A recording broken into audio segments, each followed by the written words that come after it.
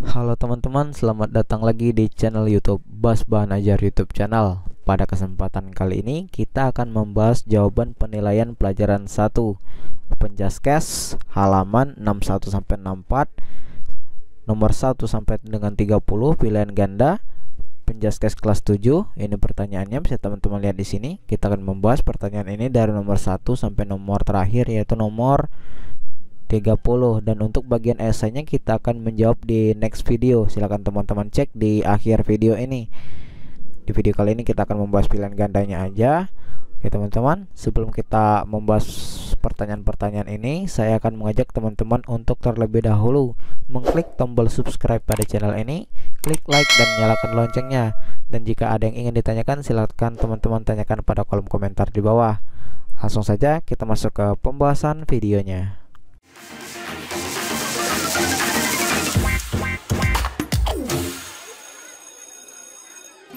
1. Gerakan yang dominan dilakukan dalam permainan sepak bola adalah A. Menendang bola B. Menahan bola C. Menggiring bola dan D.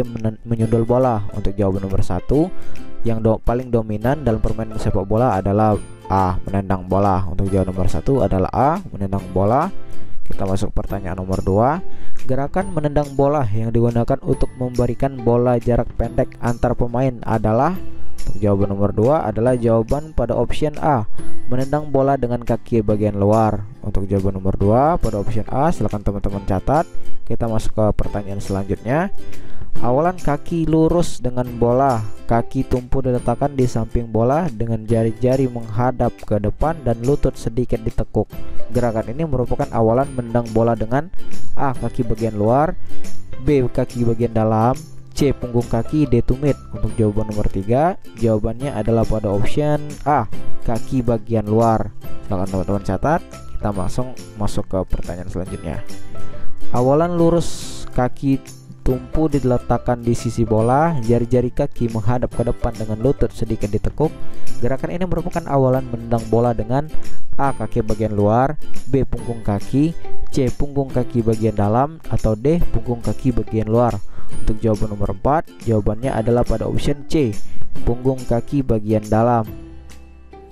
Nomor selanjutnya, berikut ini adalah gerakan menghentikan bola dengan permainan sepak bola kecuali A. Menghentikan bola dengan telapak kaki.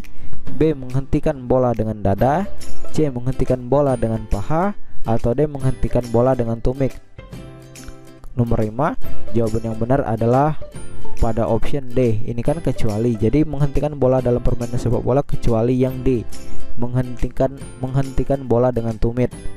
Oke teman-teman ini untuk jawaban nomor 5 kita masuk ke pertanyaan nomor 6 kaki yang digunakan untuk menghentikan bola diputar keluar sehingga kaki bagian dalam menghadap ke arah datangnya bola gerakan ini merupakan cara menghentikan bola dengan menggunakan A. kura-kura kaki B. punggung kaki C. kaki bagian dalam D. kaki bagian luar Untuk jawaban nomor 6 Jawabannya adalah pada option B. Punggung kaki Kita masuk ke nomor 7 Badan bagian atas dicondongkan ke belakang dengan dada ditarik ke depan.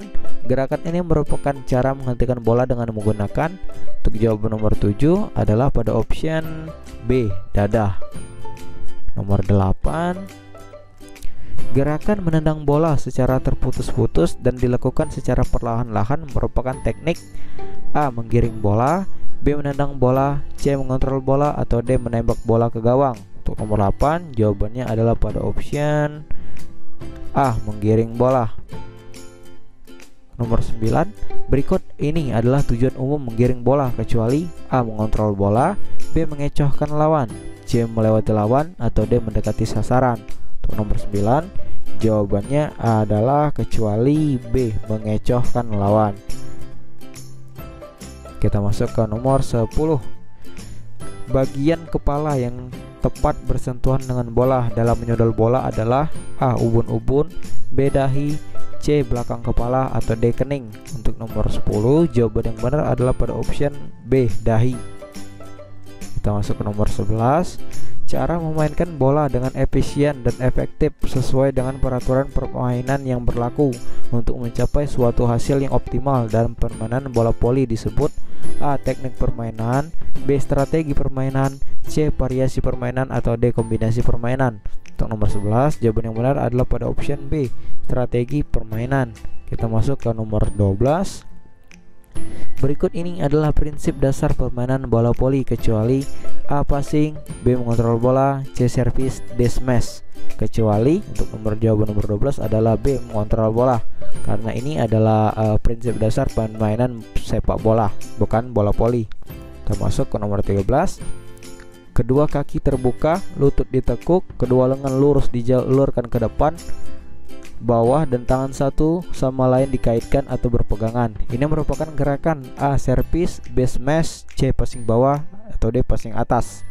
Nomor 13 Jawabannya adalah pada option C. Passing bawah Kita masuk ke nomor selanjutnya Pada waktu bola datang, bola didorong dengan jari-jari tangan dan perkenaannya melalui ruas pertama dan kedua jari, dari jari telunjuk sampai kelingking sedangkan ibu jari hanya pada ruas pertama saja merupakan gerakan A service, B smash, C passing bawah atau D passing atas nomor 14 jawabannya adalah D passing atas nomor selanjutnya gerakan dasar untuk memulai permainan bola voli adalah A passing bawah B passing atas C smash D service untuk nomor 15, jawaban yang benar adalah pada option D, servis. Kita masuk ke nomor selanjutnya. Berikut ini adalah faktor-faktor keberhasilan dalam suatu servis kecuali A. kecepatan bola, B. perputaran bola, C. kerasnya bola yang dipukul, D. penempatan bola di tempat kosong. Untuk nomor 16, jawabannya adalah pada option A. kecepatan bola. Nomor 17, nomor selanjutnya Gerakan memukul bola sambil meloncat dekat net sekuat-kuatnya dengan maksud untuk mematikan permainan lawan disebut A service, B spike, C passing atau D block. Untuk nomor 17 jawabannya adalah pada option B spike. Nomor selanjutnya Gerakan memukul bola sambil meloncat dekat net menggunakan gerak tipu dengan maksud untuk mematikan permainan lawan disebut A spike, B smash, C passing, D block. Untuk nomor 18, jawaban yang benar pada option B, smash. Kita masuk ke nomor 19. Gerak membendung bola yang datang dari arah lawan yang dilakukan di dekat net oleh seorang atau lebih permainan disebut per, lebih pemain di depan disebut nomor 19 jawabannya adalah D block nomor 20 berikut ini adalah tahapan melakukan bendungan atau blok kecuali A. Awalan B. Berlari C. Tolakan atau D. Loncatan Untuk nomor 20 jawabannya adalah A Kecuali awalan Nomor 21 Tujuan utama dalam permainan bola basket adalah A. Memasukkan bola ke keranjang ke keranjang lawan B. Memainkan bola dengan teknik baik C. Menggunakan strategi yang jitu D. Memenangkan suatu pertandingan Untuk nomor 21 Jawaban yang benar adalah pada option A. Memasukkan bola ke keranjang lawan Tujuan utama dalam permainan bola basket Nomor 22 Berikut ini adalah gerakan dalam permainan bola basket Kecuali A. Melempar bola B. Mengontrol bola C. Menangkap bola Atau D. Menggiring bola Untuk nomor 22 eh, nomor ya nomor 22 jawabannya adalah pada option B mengontrol bola kita masuk ke nomor selanjutnya nomor 23 untuk dapat melempar atau mengoperkan bola dengan baik terlebih dahulu yang harus dikuasai adalah A. melempar bola B. mengontrol bola C. menangkap bola atau D. menggiring bola untuk nomor 23 jawaban yang benar adalah pada option C. menangkap bola kita masuk ke nomor selanjutnya Salah satu usaha seorang pemain membagi atau memberi bola kepada temannya agar dapat memasukkan bola ke keranjang lawan disebut A. melempar bola B. mengontrol bola C. menangkap bola atau D. menggiring bola untuk nomor 24 jawaban yang benar adalah pada option A. melempar bola kita masuk ke nomor 25 Operan yang digunakan untuk operan jarak pendek adalah operan dari samping, operan pantulan, operan dari atas kepala atau operan setinggi dada. Nomor 25 jawabannya adalah pada option D, operan setinggi dada.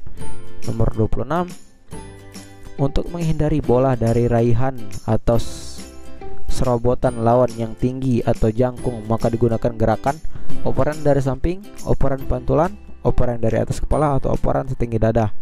Nomor 12, 26 jawabannya adalah pada option A, operan dari samping. Nomor 27.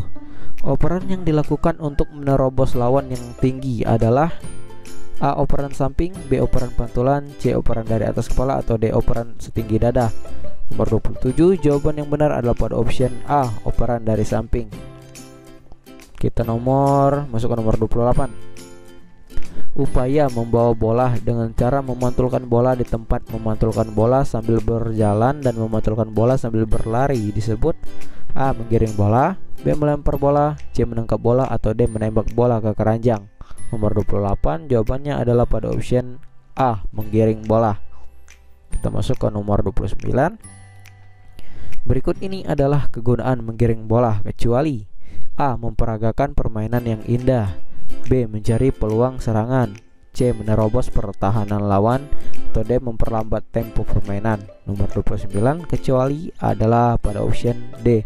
Memperlambat tempo permainan Kita masuk ke nomor 30 Cara menggiring bola yang dibenarkan adalah A. Menggunakan dua tangan B. Menggunakan salah satu tangan Atau C. Menggunakan tangan kanan D. Menggunakan tangan kiri Untuk nomor 30 Nomor terakhir Jawaban yang benar adalah pada option B Menggunakan salah satu tangan.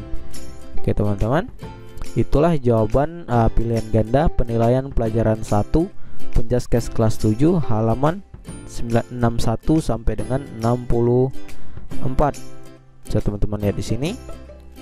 Ini untuk jawabannya tadi. Silahkan teman-teman salin untuk bagian esainya kita akan membahas di next video. Silahkan teman-teman cek di akhir video ini.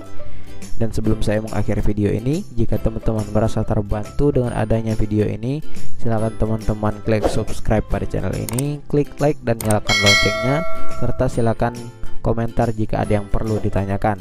Terima kasih telah menonton video ini dan sampai jumpa di next video